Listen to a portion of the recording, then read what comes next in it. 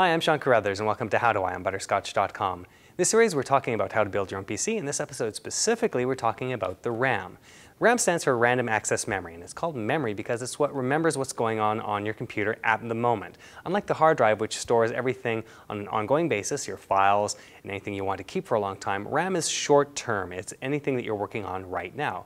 It's important to have good RAM and a lot of RAM potentially for your system depending on what you want to do with your system.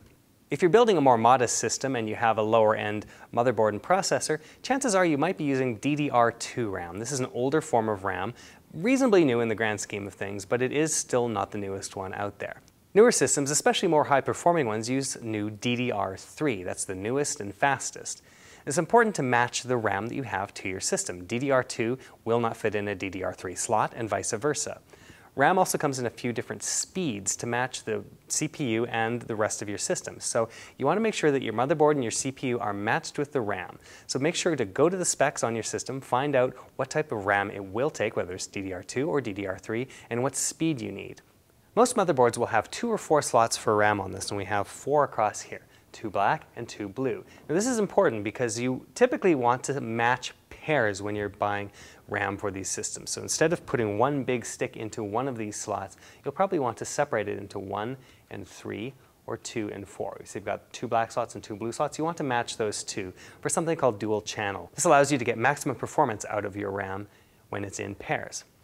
Now for this system, we've chosen Kingston Value RAM, DDR3 in this case, at uh, 1066 megahertz. It goes up to 1600 for DDR3. In this case, we don't need that much for this particular system and the CPU we've gotten.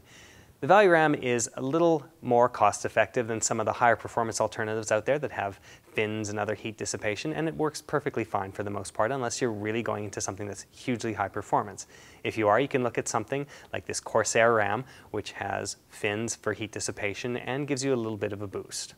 To install the RAM on the system, first we're going to push back the little tabs on either end of the slot that we're going to use, like so. And then we're going to look at internally, we've got a notch on the RAM and we've got a little bump inside the slot. So we want to make sure that they're matched up. If you put them in the opposite direction and they don't match up, then it won't go in and you might break something. So first of all, match those two directions and then push it into the slot like so. Now we've got it lined up and to get it in, we just push firmly, but carefully. And typically if you do that, the tabs on either end will snap into place on the outside of the RAM. We're going to do the same on the slot down. So again, instead of doing a blue a slot now, we're going to put it into the black slot that uh, is the second uh, black slot in here, just to make sure they're matched. Put them in like so, push it in, and there we go. Now we have two slots left that we can put other RAM into if we want to update the system. Now these days I'd suggest you start with at least 4 gigabytes RAM. In this case we've got 4 gigabytes in here in a matched pair of 2 gigabytes and 2 gigabytes, but go higher if you can because you want to be able to grow down the road if you want to update your operating system to something that requires more resources or you want to run faster, bigger, more intensive programs. It's always good to have the option to build up if you want to down the road.